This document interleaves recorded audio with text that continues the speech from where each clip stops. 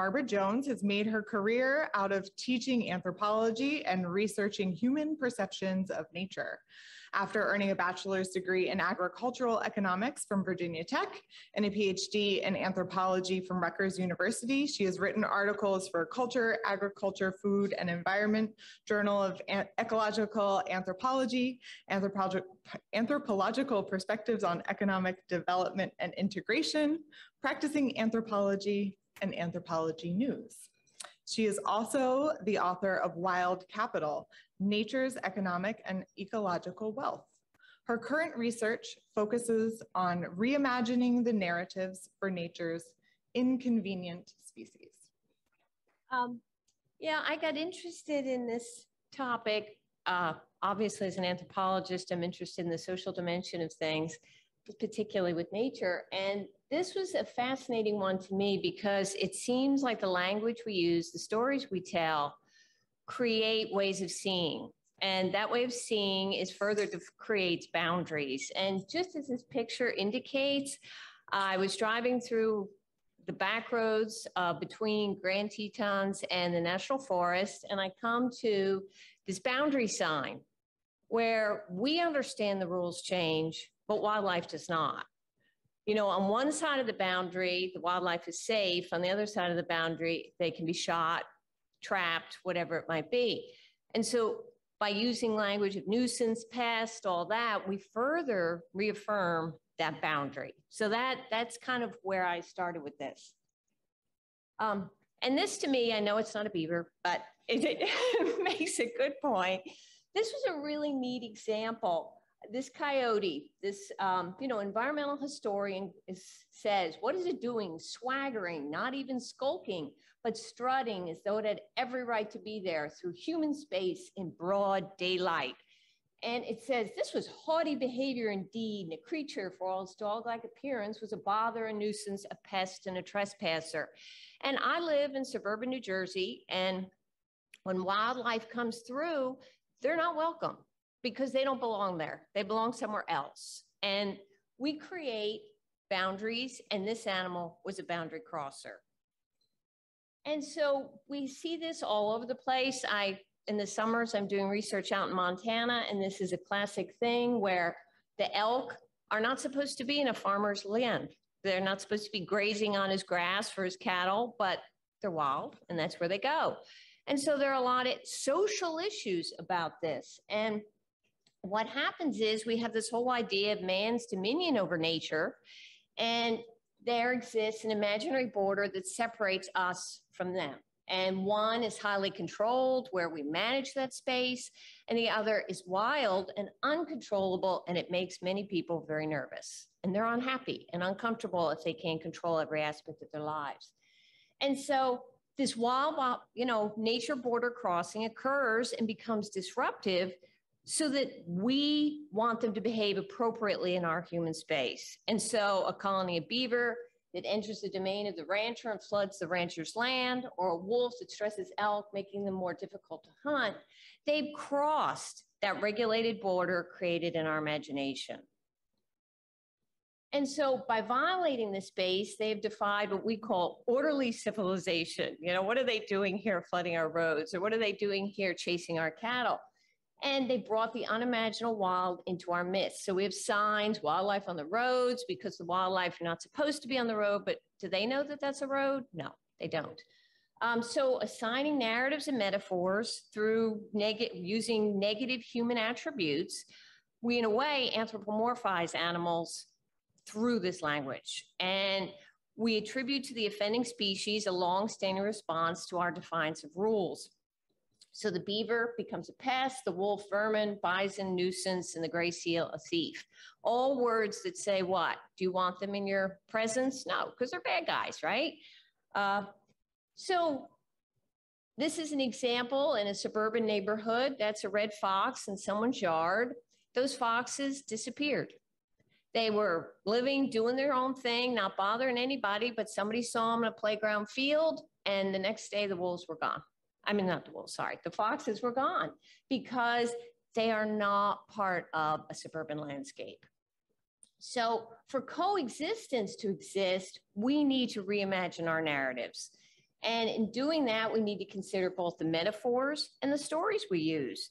And when we think about coyotes in New York City Central Park or foxes in somebody's yard, um, we are imagining animals as outsiders. And in the anthropological parlance, we call it othering, where we assign them attributes that are extremely negative and create fear and make them more foreign than they need to be.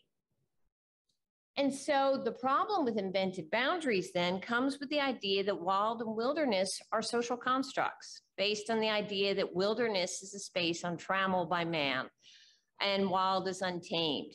But it really makes no sense because in both instances, they parallel a spatial understanding of that is framed by what it means to be a highly managed species, like cities that, that live in highly managed spaces, excuse me, like cities or towns versus being what famous Aldo Leopold described as the distance you can travel in two weeks without crossing any roads and, you know, being out in wilderness. And these things fail to capture how humans and wildlife are embedded in a shared nature that includes our space and their space, coexisting with an interconnected web. And the case here is again, sorry, not beaver, but these are bison and they are considered to be livestock. So the minute they leave Yellowstone National Park or Custer State Park or anywhere where they are constrained behind fences, Yellowstone is the freest any bison can be. They go from being a wild animal in the park, they step out of the park, they become livestock and they are controlled by the rules of livestock and agriculture and they can be shot. So that is the mere idea of stepping a hoof across an imaginary boundary and it completely changes our relationship with the animal. And so with the beaver, they've had some really poor PR. Um, you know, early beaver economics meant a lot of dead beaver, you know, the pelts, the all sorts of things, their furs were traded all over until they were nearly decimated. Um, then they became nuisances and pests. And that pest narrative is tied to the idea of native versus non native, which is a really interesting distinction because in places in the US, there are historical accounts that will document that the beaver was non native because it wasn't there when the scientists started studying beaver. Well, they were there. They're part of Native American lore.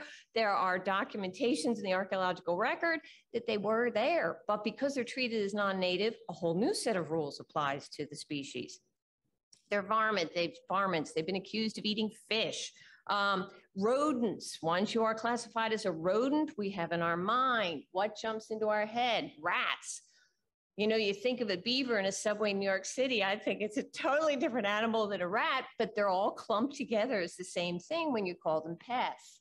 Um, the Nuisance Rodent Act that exists in some of the states clump beaver in with these traditional pest species.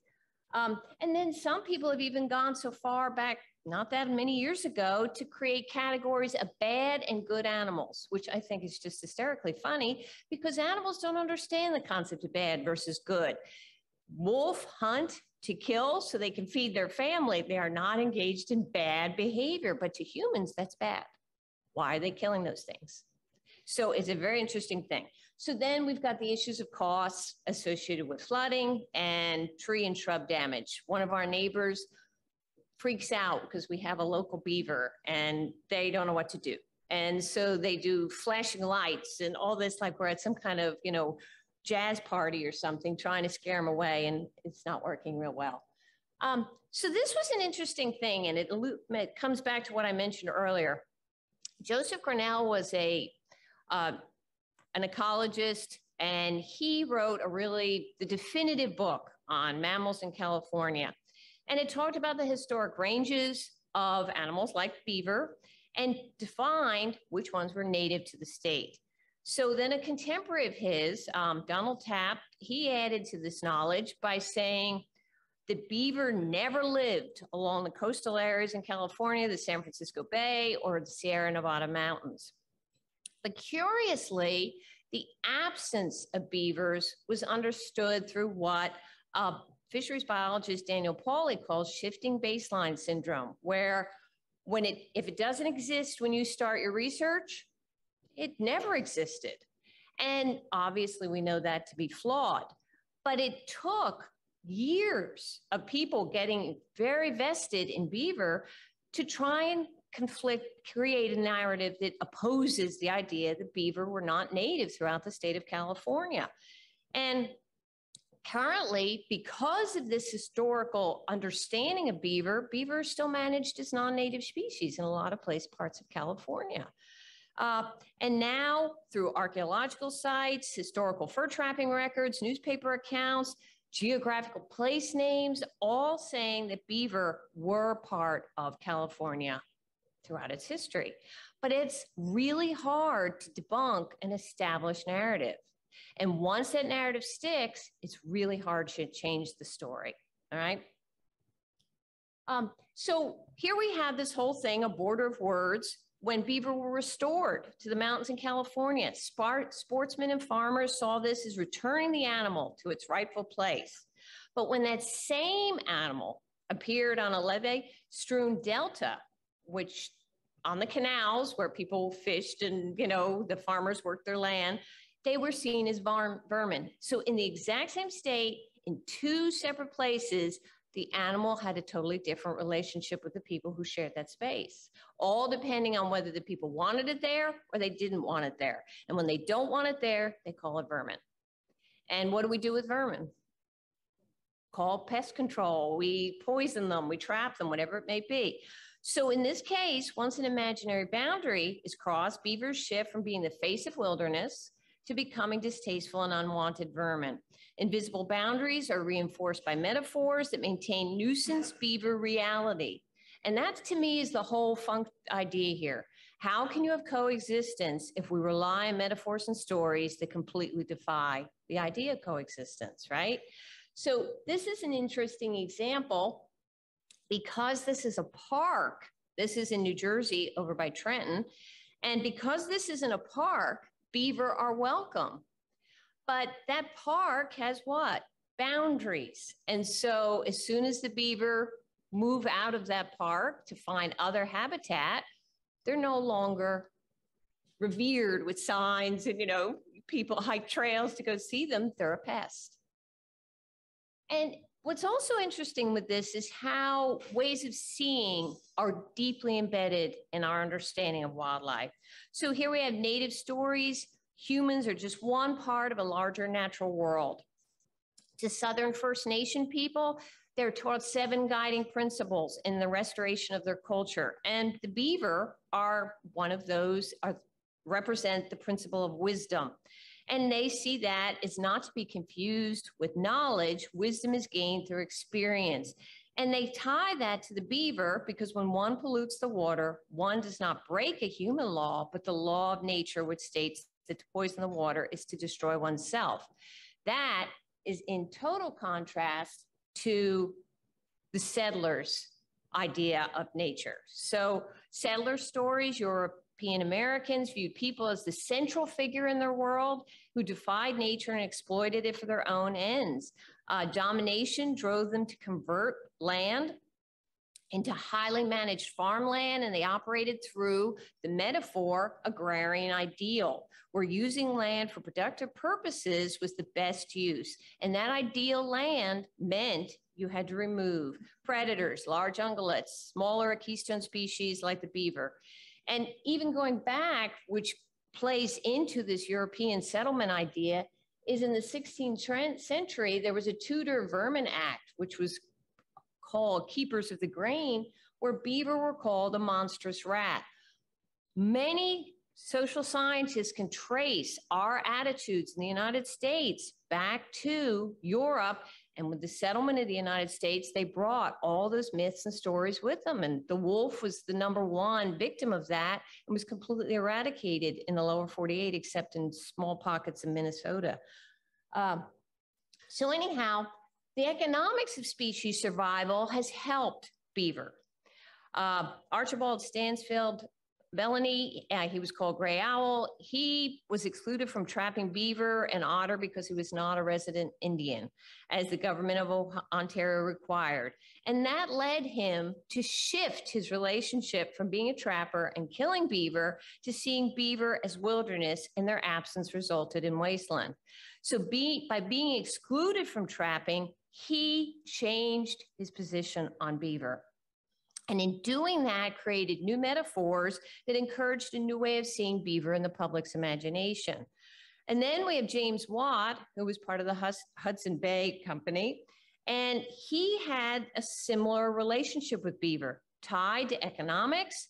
And I don't know if any of you are familiar with Garrett Hardin with his Tragedy of the Commons, um, or Elinor Ostrom with her work on governing the commons. But both of them would have thought James Watt was the greatest thing going because he created an institution that protected beaver because it made no sense to kill your primary resource. And if you can't, if you have no beaver, you can't make any money off beaver. So he protected them because they were an economic resource. And characters like this in the story help change how the fact that beaver persisted when a lot of other species did not. So Garrett Hardin's Tragedy of the Commons is just that. It's the idea that if it's common use, who controls who takes the last one? And that tragedy has permeated our lived experience from everything from the passenger pigeon to the near loss of the bison to the gray wolf and almost to the beaver. And Elinor Ostrom, she actually was a prestigious economist, she used the idea of governing the commons as a way for communities to avoid a tragedy of the commons by collectively self governing their community pool resources. So, in Watt's day, he did something that was very unusual and even novel by protecting community pool resources, by making laws and rules and when you can harvest and when you can't. So, governing the commons did not happen for bison, elk, or even cod but Watt and Belaney, to some degree, did it for beaver. And that's why we still can talk about beaver today, which is a really cool thing. Um, and now we're in the thing that really gets me jazzed is the idea of revaluing. And that's what we're doing with beaver now. And recognizing nature's ecological and economic capital through their social, economic, and ecological values. So I mean, you all, I don't want to repeat all these things because you all know, but beaver do absolutely amazing things. Even more so than the obvious as engineers is the idea that they actually act produce nitrogen and carbon sinks. In this era of climate change, what is better than something that sequesters carbon? And through their construction of dams, they sequester carbon and they also return nitrogen to the soil as a sink. So these are really amazing things. Tourism, which is a totally untapped value in the United States, is growing all over Europe and Great Britain, which I think is fascinating. And that's another way that we can assign value, that people pay money to go see something that adds to their value. Um, salmon restoration, where beaver used to be accused of wiping out fish habitats, they're now credited with actually protecting and creating through their deep ponds and things like that. So, and then the final one is their intrinsic value, the knowing they exist value. And that's a hard one to measure. But that's an important one with beaver too, because we don't know what the landscape looked like pre European settlement. And many people would argue the land we see today is totally different because of the absence of beaver. Um, so the ecosystem services are the whole idea behind them are those services that provide or enhance our human well-being. And there are two competing groups who vie for attention in the environmental narrative. And one of the group is the environmental pragmatist, and the other group would be the environmental purist. And the pragmatists see solutions to resource issues can be found by working with human needs in a complementary way. And that really feeds into the ecosystem services idea. Um, they offer stakeholders a voice in the process of preservation and conservation, and they encourage decision makers to consider nature based solutions. So those pragmatists like real things that can be done knowing human behavior.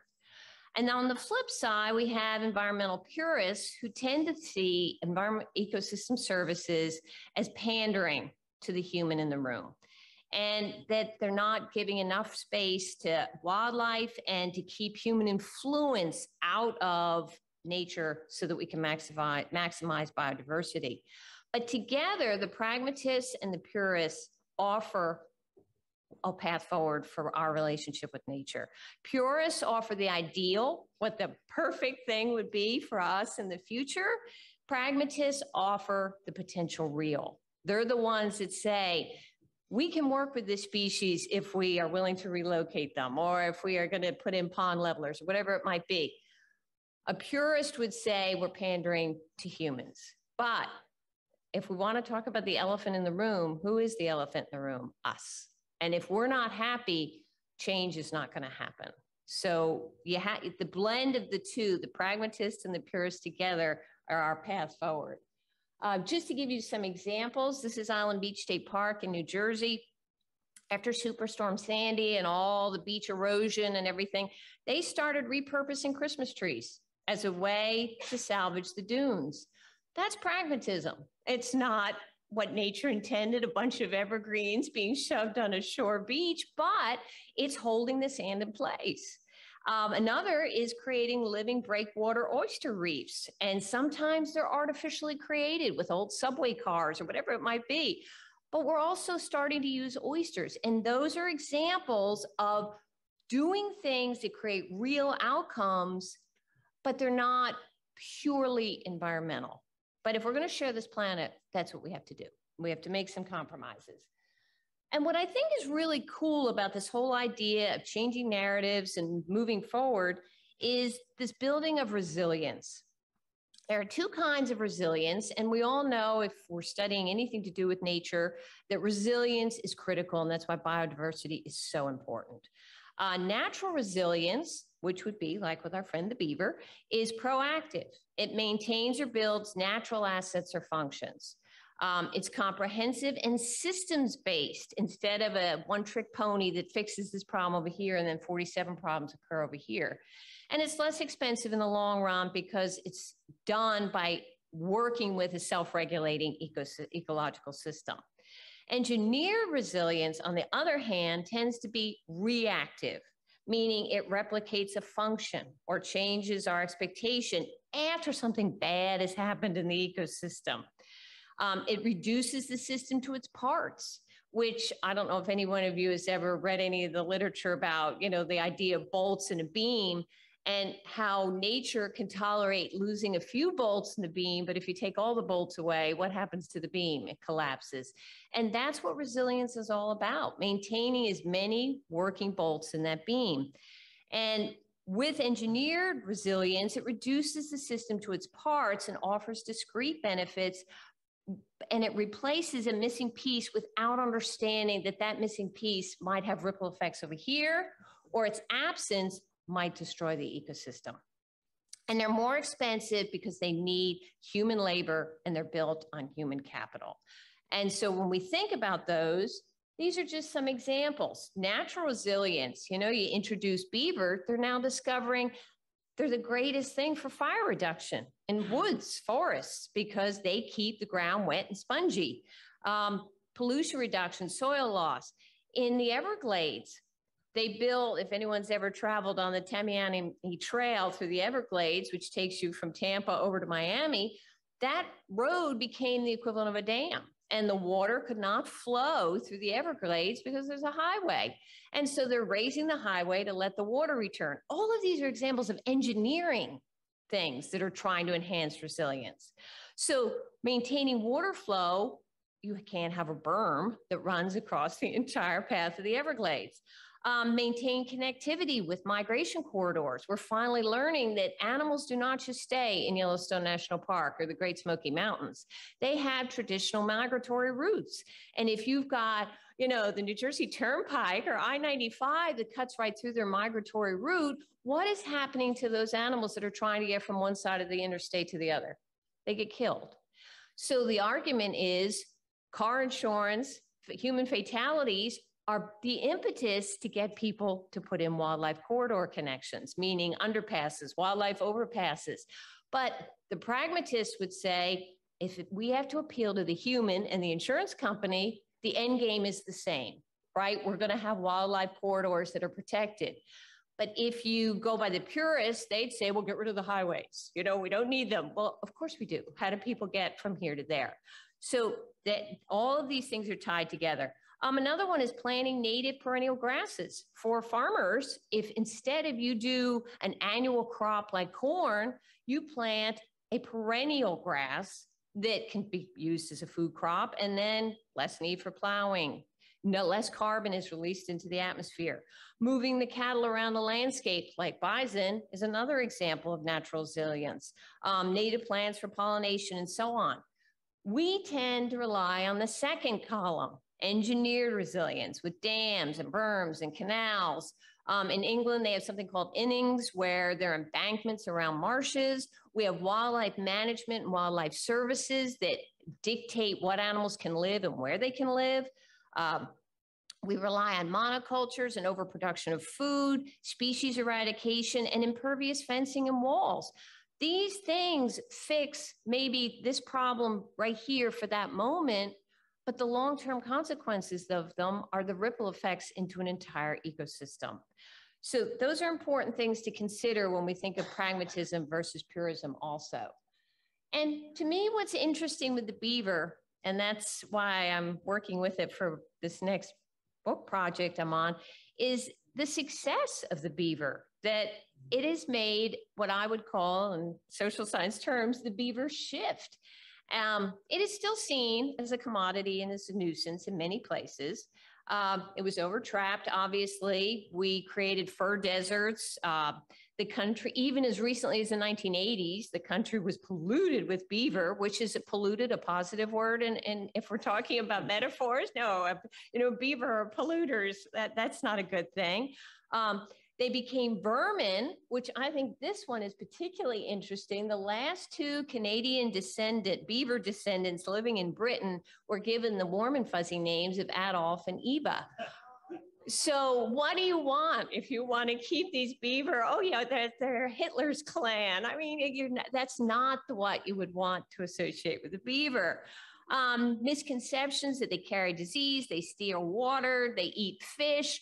I mean, I was at the Washington Zoo, the National Zoo, I don't know, three months ago, and I was interviewing people at the Beaver Overlook. And I hear this father telling his kid, well, the kid says, Well, what do beaver eat? Oh, they eat fish. I couldn't stand it. And I had to tell the guy, No, they don't eat fish. But this man was convinced and he just rolled his eyes at me like, Oh, yeah, okay. But what is he now conveying to his kid is that beaver do what? Eat fish, right? So, and then they emphasize the flooding and tree damage without emphasizing the amazing services they provide to human well being. So, we're shifting the narrative. Beaver is the Earth's kidneys, which is a cool thing. Um, Beavers stand for something vital, something essential for wilderness. And in a way, the 21st century is very receptive to this kind of language, especially after COVID, where now people are really realizing how important being outdoors and in touch with nature. So that's kind of a cool thing. Um, that they're a keystone species and they compl- you know build complex slow moving water ecosystems and they act as speed bumps um, I don't know if anybody's been watching the news, but in Montana with Yellowstone, the entire part of that state is uh, flooded. The roads are impassable. Flooding is a real concern. And ranchers out west, much to my joy that I've spoken to, they are beginning to want beaver on their land because drought, especially if you're in the southwest of the United States, drought is killing them. And if you can keep water on the land longer, you're going to have a longer growing season and you're going to be able to keep your livestock alive. So that's another example of pragmatism. Um, beaver ecology has taken hold where the beaver return re, re, wetting the sponge is a whole lot better than their polluters, right? Um, they enhance property values and they use trickle down science to educate property owners. So this is a really neat beaver shift from this picture on the left, which I'm sure many of you have already seen, where beaver pelt after beaver pelt to this was at Grand Tetons National Park, and people were crowding around. Ooh, it's a beaver, it's a beaver. They were like, this is Kim Kardashian or something on the other side of the water. They were so excited. So this is a major shift, and that's a really exciting thing. Um, beaver allies are tied to this whole ecosystem services idea. Slow water now they're called Smokey the Beaver, which is a positive connection, right, to Smokey the Bear, something children have learned about through their childhood. So beaver know they're now being seen in different ways. So we've got slow water, they spread water, they sink water, they store water, they share water. So these are all really cool things, which ties into, which I think is fascinating, how other places are capitalizing on outreach and tourism as a way to educate people. These are just some of the places in beaver tourism in Belgium. They have tours called beer, beer, beavers, and castles. And people will travel on these tours and they'll go on hikes to see beavers and then they drink beer at the, you know, at the brewery at the end of the tour.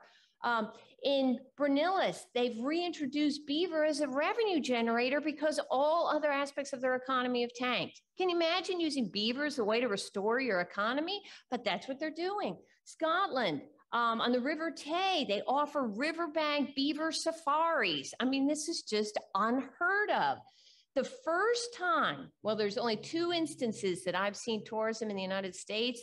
One is the Pinelands Alliance in Chemong, where they're offering beaver ecology tours now, kayaking tours, and the Bronx River Alliance, after beaver returned to the Bronx River, where the thing was, the river was on all intents and purposes dead, they now have guided tours. They have Justin Beaver as Beaver is one of the Beaver's names. They, they, they, people are just so excited that Beaver are returning, which brings me to, and I'm going to hurry, hurry, hurry, um, the endangered species bump, which I think is fascinating that many places around the country are realizing, many ranchers, farmers are realizing that they can be protected from endangered species land restrictions if they provide habitat. So in Wyoming, where the trumpeter swan is a species of concern, they want wetlands. So ranchers are encouraged to get beavers back so that you can have compatible landscape for wetlands that would allow the trumpeter swan to have habitat. So that means that the trumpeter swan gets upgraded in its species of concern into something, you know, endangered or threatened, those ranchers have created habitat and are protected. So that's another neat tie between beaver and the pragmatic solution. We're still fighting this battle of heritage versus science, where heritage says trapping is a time honored tradition. I don't want the government telling me I can't kill those beavers. Family heritage. Um, the irony, it's the joy of being in the woods. I know that defies my worldview that how can you get joy out of pulling a dead beaver out of a trap, but that's a heritage thing. So as an anthropologist, I have to understand that. Um, climate change, though, is the flip thing, where trapping is not cost effective. If anyone's ever seen the prices of beaver pelts now, that they're worth nothing. So why would you trap? Um, but climate change is the thing that is changing this story. And that's an important thing to keep aware of. Um, beaver management allows us to have restoration across boundaries where one person who in Great Britain is writing, she wrote about the, or rather in Canada, about transboundary partnerships where you encourage coexistence across groups of competing users. That's tied to that whole pragmatic thing. The challenge, though, still is the native versus non native, the noisy opposition to beaver, which tends to be the loudest voice in the room, the trappers, the ranchers, nuisance laws. Um, so a lot of this stuff can also create problems because a successful recovery can be too successful. And if you have too many of them, what do you do then? Um, and this is an example of that. Um, I was in San Diego not that long ago, and the children's beach is closed because the seal recovery has been so great that they now give birth on the children's beach. Well, knowing humans as I know humans, how many years are they going to tolerate their favorite children's beach full of seals and making pooping in the water and giving birth? It's fun for a couple, you know, a few weeks, but if you can't bring your kids to their favorite place to swim, how long is that going to be tolerated? Um, so, renewed coexistence is a really cool thing. And I'm going to kind of finish up with this where um, in England, they're using the language of renewed to build on what they see as familiarity with a species that is gone but is now being reintroduced. And their idea is the human tie to the species can diminish challenges, but it also diminishes its wildlife, wildness. Um, because when you reintroduce a species, people then expect you to manage them. They can't be wild if you brought them here, right? So renewed, his idea was untangles that tie. I'm not convinced because to me, the past human beaver relationship has not necessarily been a good one. So if you're going on past familiarity, you're relying on a narrative that isn't proactive beaver, really. But renewed coexistence does allow people to form new relationships because the animal is not totally foreign. And so that's a neat idea that comes from that. And so familiarity comes from beaver at zoos, beaver in pop culture, beaver in books, beaver as helpful friends. And here's that little group of people looking at the beaver in the Washington, D.C. Zoo. And there was a pretty big crowd considering when you go to the other overlooks, there were maybe two people. So beaver got some friends. And just to give us an idea, with a recovering resource. This is grizzly bear 399 in Montana and I mean in Wyoming. She was the most famous bear. She probably is the most famous bear in the world. She gave birth to four cubs two years ago, and she is the star. This is Cars trying to see Bear 399. But she, her recovery or the recovery of grizzly bears, this is the police station in Jackson, Wyoming. And in the middle of the night, five grizzly bears are walking right through there. Well, how do people respond to that? Bear, grizzly bears are dangerous. They could, what, what happens if you got between her and her cubs? So recovery is wonderful, but we also have to prepare people that success could bring us back to a time that isn't what it used to be. Um, which is just what's happening with the seals, the great white sharks, same thing. They're all recovering. And now people see sharks when they're in the water. And Cape Cod's entire industry is based on tourism. Well, if you can't go in the ocean because there's sharks, what do you do? Do you have a coastal resource that people want? Um, which leads us to the nudge, decision making, and recognizing that we have to reward and incentivize to change behavior. Um, bias and positionality are part of people's worldview but behavioral economic theory is different than classic economic theory because classic economists think of humans as rational actors. The behavioral economists know we're not.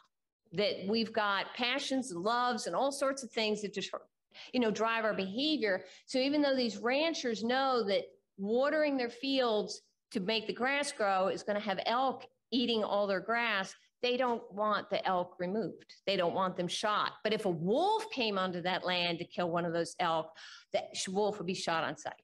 Yet they don't want the elk, but they don't want the wolves either. So it's a very interesting thing. So coexistence is on a spectrum, meaning there are degrees of coexistence. And we have to accept that someone who, you know, does one little thing might be the beginning of a mind change, you know, and that needs to be recognized and rewarded. A lot of times in the ranching and farming community, and even in suburbia, we get so upset that people don't welcome 100% of what we love. But it's incremental. And if you recognize that you did this little thing, like painting your tree with sand paint, you're doing something. And so that's an important piece.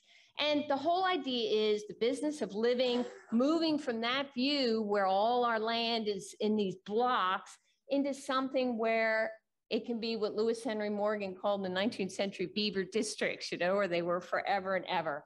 And this is just to give you a sense of how we have the challenges of coexistence. This is a pronghorn migration map, goes through towns and highways.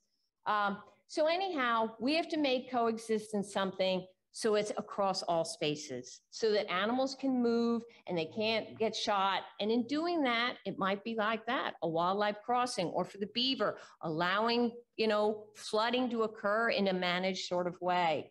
Because if we don't, these are the outcomes leading to, you know, tragedy. Beaver in most parts of the United States, 1851, American bison by 1887, practically gone.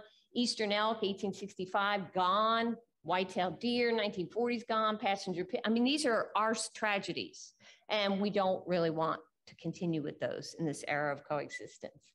So that's it. And I did want to just introduce, Florida Press says, take books every conference you go to. So I'm bringing books, and this is my Wild Capital book. I have a few copies, but if anyone was interested, you can get it with this special code for $30. But anyhow, thank you for your time, and I'm done. If there's any questions. Thank you. Um, um, this is your practitioner and your outreach audience.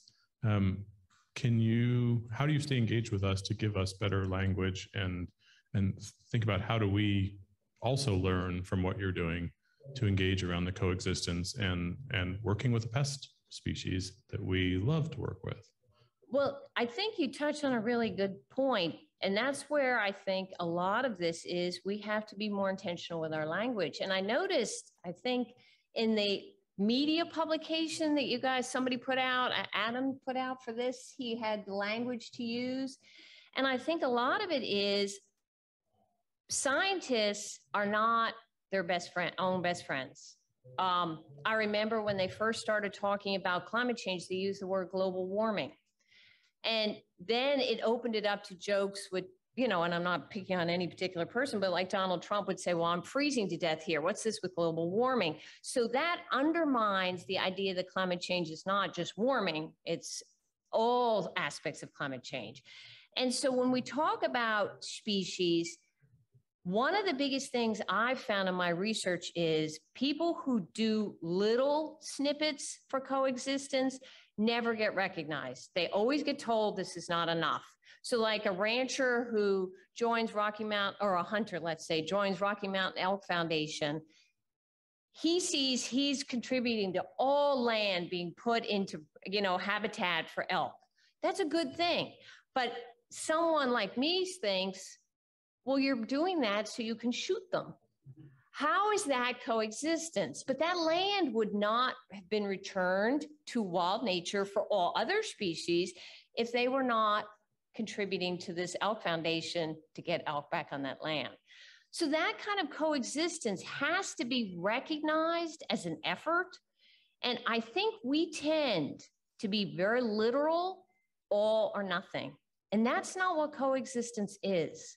We have to take snippets, we have to take and accept that not everyone is going to get on board. Coexistence has even gotten a bad rap now. You talk to people out west, they hate the word coexistence. They don't even want to hear it because to them, coexistence has always been somebody yelling in them, their face that they're not doing the right thing. So not only do we have to change the language about how we talk about species, but we also have to take have a greater tolerance for what people are willing to give or do. And that comes with this behavioral economic nudge that I commend you for doing A. And with that, can I build something better rather than, well, that's not enough, which tells me, well, why bother? I, I can't ever win. So I think that's, and that's really hard to do. But that's what we're going to have to do. And scientists are the worst communicators in the whole world they, they don't they don't message well because they assume everyone is understanding things from their lens.